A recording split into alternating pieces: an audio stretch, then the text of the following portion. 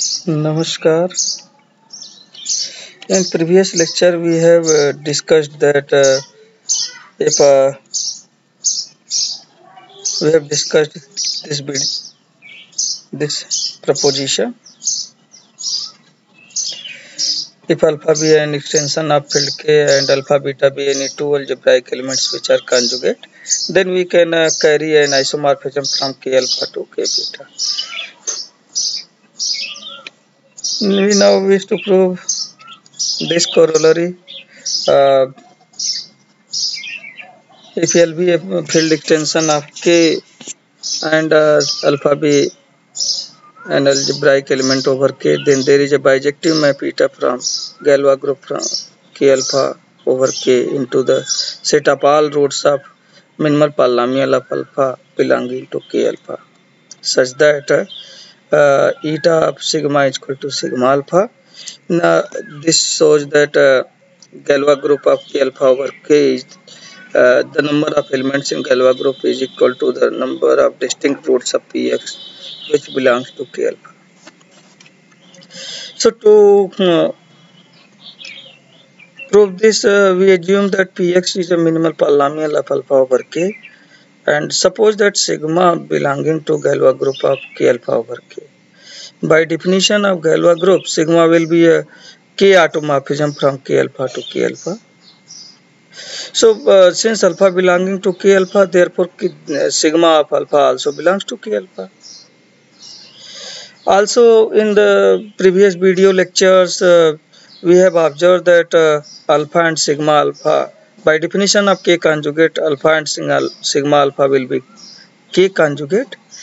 and So their uh, minimal polynomial will be same. Here is the proposition discussed in previous video content. So sigma alpha is also a root of px. Now this suggests us to define the map uh, eta from Galois group of this into the set of all roots of P X by sigma eta of sigma is equal to sigma alpha first our aim is to prove that this is a uh, our aim is to prove that uh, this is 1 1 to prove this uh, let uh, eta sigma 1 is equal to eta sigma 2 by definition of eta eta sigma 1 can be written as sigma 1 alpha eta sigma 2 can be written as sigma 2 alpha apply sigma 2 inverse on both sides we have sigma 2 inverse of composite sigma 1 of alpha is equal to alpha this shows that uh, sigma 2 inverse composite sigma 1 fixes alpha and so since uh, these two are k automorphisms therefore their composition will also be a k automorphism so uh, we can easily observe that sigma 2 inverse composite sigma 1 of f alpha will be will be f alpha. How can we prove this? Here is the proof. But uh, to understand this, you may uh, learn how can we prove that sigma 2 inverse composite sigma 1 of f alpha is equal to f alpha okay so this suggests that sigma 2 composite uh, inverse sigma 1 fixes all the elements of k alpha it means this will be identity map so this will be identity map again uh, apply sigma 2 on both sides from left then we have sigma 2 is equal to sigma this shows that say eta is 1 1 now our aim is to prove that eta is onto so to prove this eta is onto we suppose that beta is a root of px which belongs to field k alpha okay then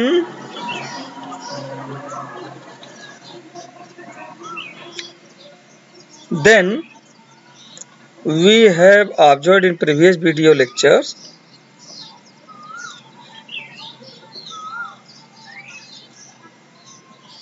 the field K alpha and K beta both are K isomorphic because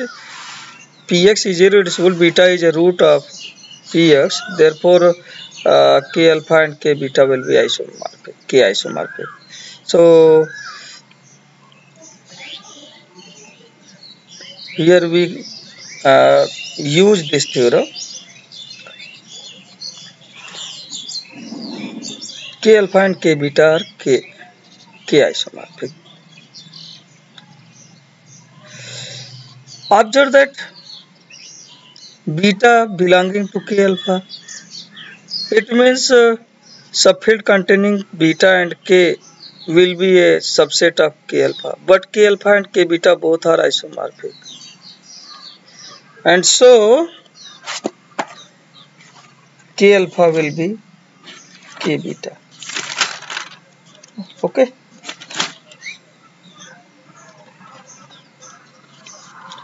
here you may assume that this isomorphism is phi so we do not use that isomorphism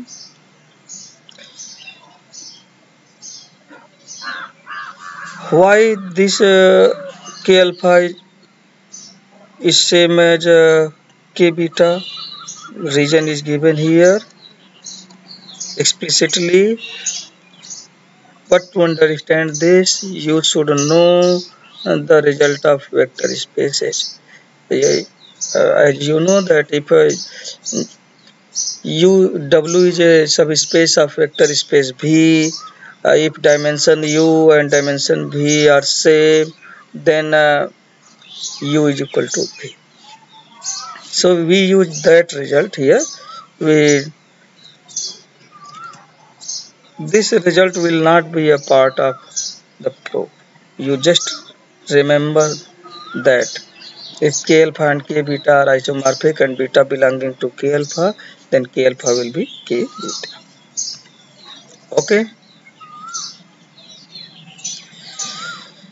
so we observe that uh, since phi is an isomorphism from k alpha to k beta and uh, k alpha is k beta it means phi this isomorphism phi here is phi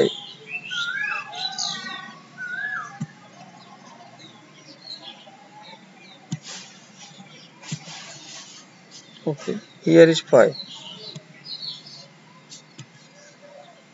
pi.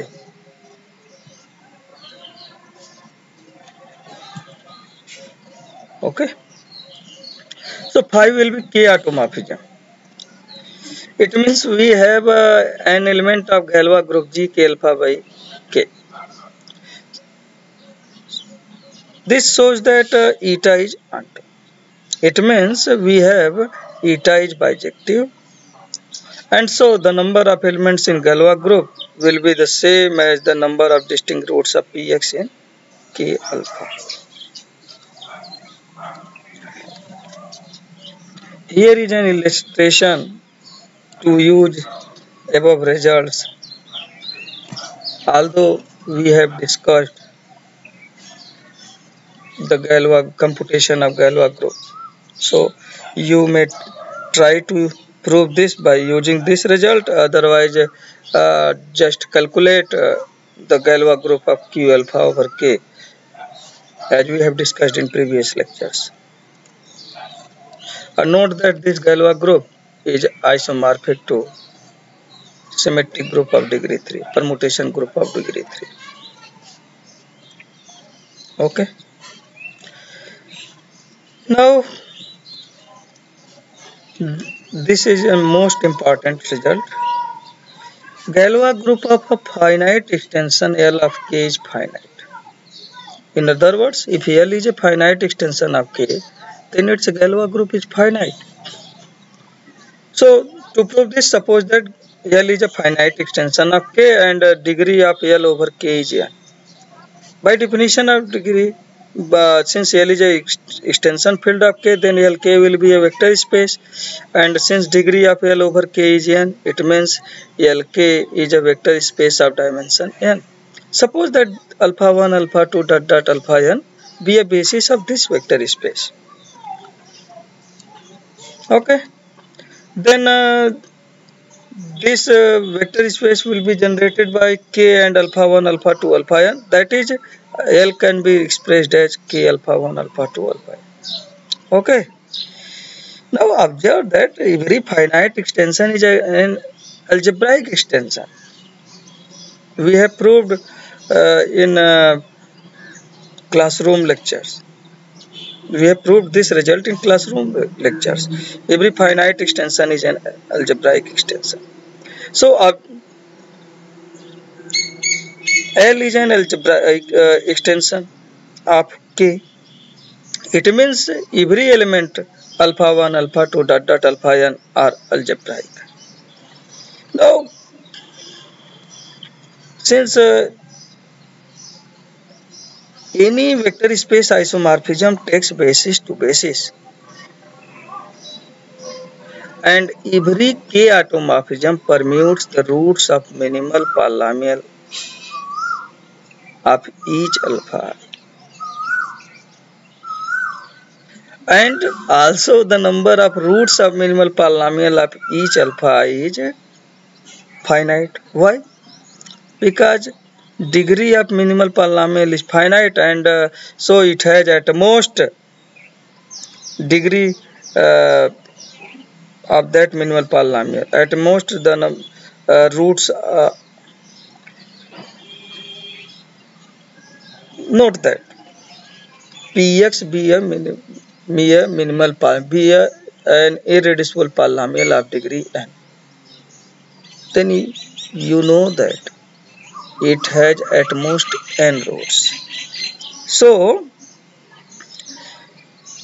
every k automorphism permutes the roots of minimal polynomial and also we know that number of roots of minimal polynomial of each alpha i is finite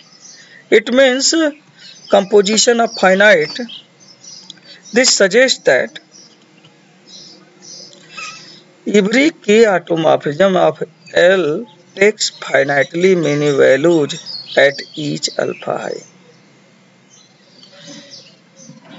Okay. So remember these things. Here we use uh, some uh, uh, I can uh,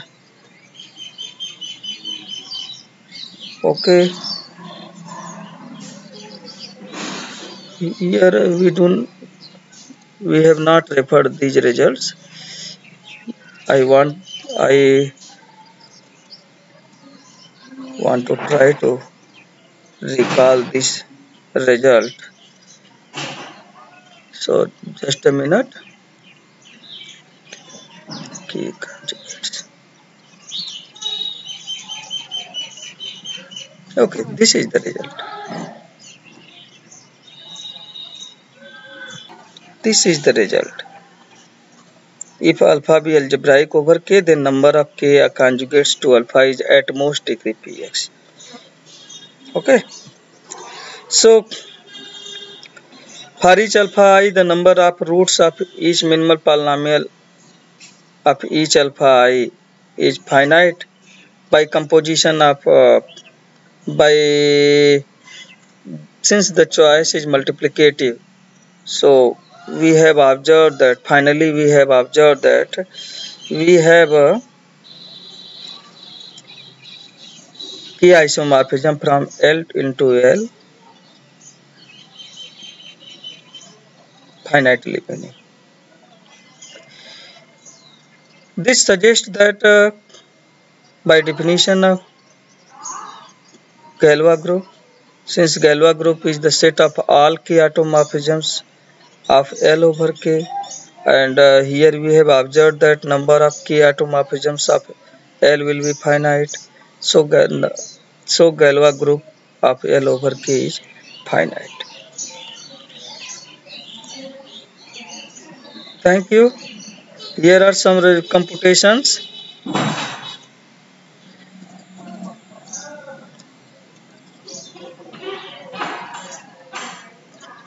Try to prove this I leave it as an exercise for you for further results we will discuss in next video lecture thank you I hope that this will help you this will boost you to understand the theory of understand the Galois theory thank you namaskar